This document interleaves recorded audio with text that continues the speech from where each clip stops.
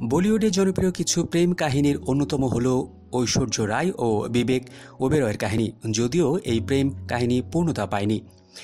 সালমান খানের সঙ্গে প্রেম ভাঙার পরই বিবেকের সঙ্গে সম্পর্কে জড়িয়ে পড়েন প্রাক্তন বিশ্বসুন্দরী কিন্তু বেশিদিন স্থায়ী হয়নি তাদের সম্পর্ক।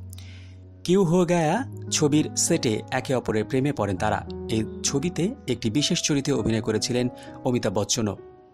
এই ছবির প্রমোশনে একে অপরকে চোখে হারিয়েছিলেন বিবেক ঐশ্বর্য। পর্দার বাইরে তাদের রসায়ন দেখে ফ্যানদের বুঝতে অসুবিধা হয়নি যে একে অপরের প্রেমে পড়েছেন তারা।